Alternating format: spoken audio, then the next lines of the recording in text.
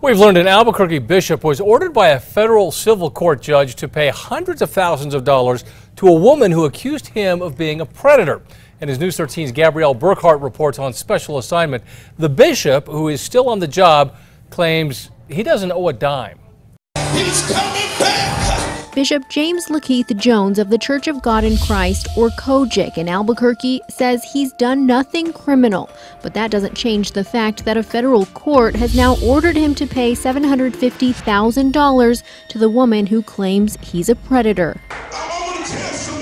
Jones has been preaching in Albuquerque for years, leading the Albuquerque chapter of one of the largest nationwide churches.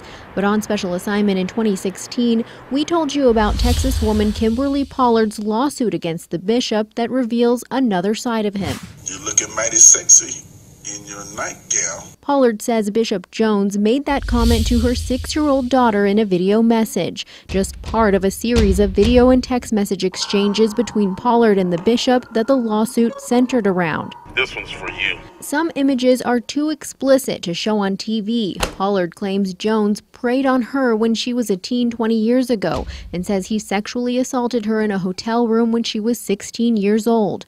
Then, as he worked his way up the church ranks, she claims he used his authority to keep preying on her, using coercion, threats, and his position as a spiritual advisor. The bishop denies any sexual assault. Still, court documents show Pollard won a $750,000 judgment in the case. Her attorneys say Jones hasn't paid a dime and instead claims the case was thrown out. So legal assistance on the case made the trip from Texas to hold up this sign for Sunday parishioners. It reads COGIC Bishop James Lakeith Jones has been found liable by a federal district court of having a sexual relationship with a child, and he is still in good standing with the Church of God in Christ.